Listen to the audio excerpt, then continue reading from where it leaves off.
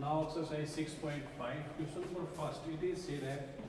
find the all pair of consecutive odd natural number, both of which are larger than 10 such that their sum is less than 10, 40. तो हमने first आपका smaller number लिया and second number लिया x plus one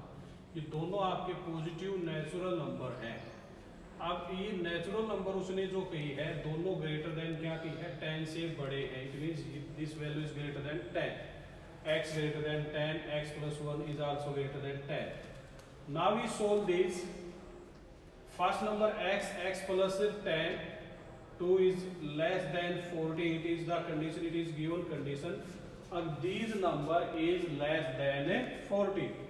तो add किया, x और x 2x plus two is less than 40 two को इधर ले आए 2x इज़ लेस देन 38 और x इज़ लेस देन 90 अब हम पेयर बनाएँगे ग्रेटर देन तो 10 लेना है 10 से बड़े और लेस देन 90 90 तक वो पेयर बनाए जहाँ इन दोनों का सम आपका 40 से लेस देन रहे। तो हमने पेयर बनाया 10 से ग्रेटर 11 और 13 it is the positive number old natural number लेने थे तो ओल्ड नेचुरल नंबर हमारे पास ये है। तो now 11 13 this is the sum of a 24 11 11 के बाद 13 और 15 15 17 17 और ए 19 these all pair sum is less than a 14 14 सभी का जो सम है, वो 40 से छोटा है। तो आपके पास दो नेचुरल नंबर हो गए। एक तो हो गया x और दूसरा हो गया x plus two whose sum is this तो x प्लस टू ये सम हो गया x plus two x plus two x plus two it means both are greater than 10 second question कहता है the marks obtain by a student of class plus in first terminal test में 62 marks obtain करता है। Second terminal के अंदर 48 और annual exam के अंदर लेटर सपोज़ कीजिए उसको एक्स नंबर मिले। और उसने कहा है कि उसकी जो एवरेज है एटलीस्ट 60 मार्क्स चाहिए। It means average means first terminal plus second terminal plus annual divided by 3 is greater than equal to 60 कम से कम 60 चाहिए उससे ज़्यादा ले सकता है। ऐड करते हैं 110 plus x is greater than 3 को इधर मल्टीप्लाई करेंगे 180 x is greater than equal to 70 it means he get at least 70 marks उसको कम से कम 70 नंबर तो चाहिए जिससे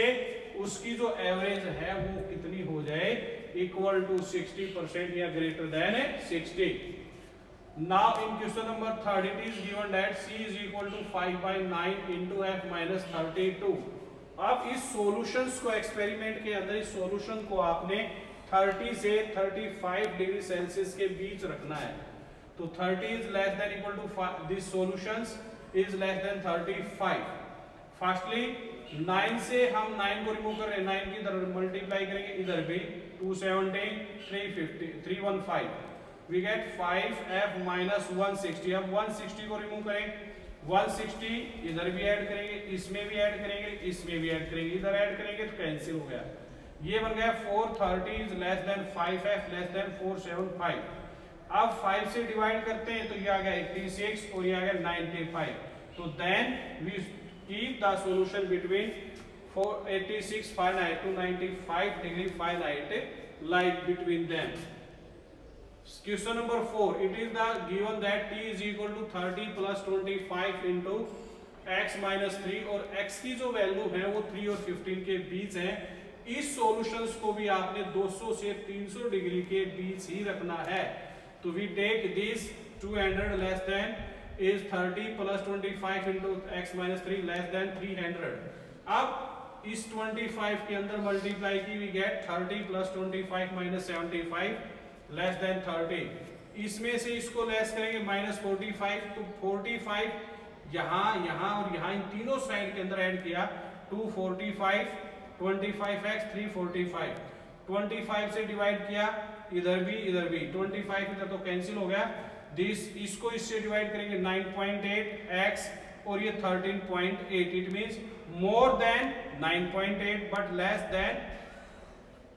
30.8 तो यही इसने कहा कि x की वैल्यू जो है ग्रेटर देन 3 ये 3 से greater but it is also less than a this term question number five same as question number four do yourself fast